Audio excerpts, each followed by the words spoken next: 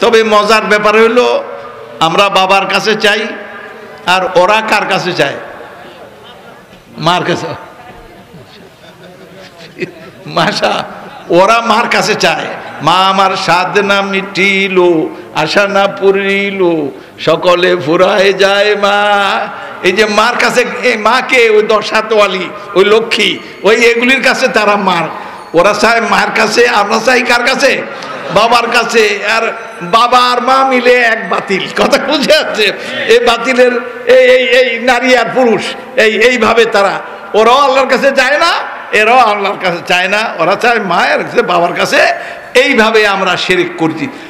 কোন কোন দিক দিয়ে বলব? রাষ্ট্র ব্যবস্থা সমাজ ব্যবস্থা, অর্থনীতি, আর এই যে কি না কয়? এবাদত বন্দিগি সব জায়গায় আমরা দুই নম্বরে আছি। কয় নম্বরে?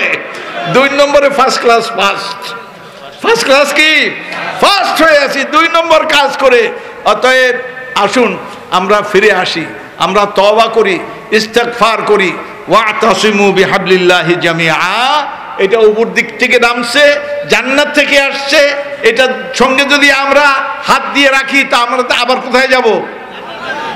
সুতরাং, মান কালা বিহি সদাক যে কোরআন দিয়ে কথা বলে, সে কি বলে? সত্য বলে। সে কি বলে? নবী সাল্লাম বলেন, মান কালা বিহি সদাক অমান আমিলা বিহি উজের যেটার উপরে আমল করবে, সে বিনিময়ে পাবে। অমান হাকামা বিহি আদাল আর যেটা দিয়ে হুকুম চালায়, রাজনীতি করে, আদাল, সে ইনসাফ করে। কি করে? ইনসাফ করে। মান হাক, কালা বিহি সদাক অমান আমেলা বিহি উজের অমান হাকামা বিহি আদাল অমান দা ইলাই হাদা হুদিয়া ইলা সরাতি মুস্তাকিম। আর যে কোরআনের দিকে দাওয়াত দেয়, সে কি করে? সৎ পথের হেদায়েত সে তার সামনে তুলে ধরলো সরাতে মুস্তাকিমের দিকে সে আহ্বান করল। অতএব আমি আর বেশি কথা বলব না। আজকে আমাকে বাড়ি আমার মধুপুর যেতে হবে বহুদূর। আমাকে এখন যেতে হবে ঢাকার দিকে। সুতরাং বয়সে তো বুড়া, দুরা ভাঙ্গাচুরা সুতরাং এই বয়সে আর বেশি কথা বলি না, অল্প কথা বলি, আর সব কথা আজকে এলিম তো এমনি কম। আজকে যদি সব বেশি কথা কই, আরেকদিন দাওয়াত দিলে আবার কী কম? সুতরাং কিছু পকেটে থাক। আল্লাহ, আমি সবার কাছে এই কথা বলি যে আসুন, আমরা কোরআনকে হাত আমাদের পরিবার কোরআন ভিত্তিক আমরা গড়ে তুলি। আমরা গভর্নমেন্টের দিকে চেয়ে বসে থাকব না। আমরা আমাদের কাজ করব, কি করব? আমাদের পরিবার আমরা কোরআন ভিত্তিক যদ্দূর আমাদের ক্ষমতা আছে, অদ্দূর আমরা কোরআন কেন্দ্রিক কাজ করব। গভর্নমেন্ট আল্লাহর কাছে জবাব দিবে, আমরা আমাদের আল্লাহর কাছে জবাব দিব। সুতরাং এই ক্ষেত্রে আমরা এইভাবে আমরা যে কোরআনের খেদমত করি, এই যে মাদ্রাসাটা আপনারা গড়েন, আলহামদুলিল্লাহ, এই মাদ্রাসা গড়েন।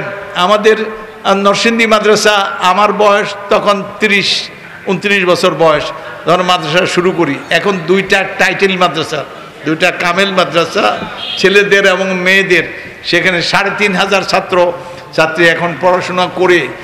একজনে একটা বিল্ডিং করে দিয়েছে, তিনি এই বিল্ডিংটা হলো পৌনে তিনশো ফিট বিল্ডিং, ছয় তলা গোটাটা এটা পাবলিক পাবলিক একজনে ব্যবসায়ী এটা করে দিয়েছে।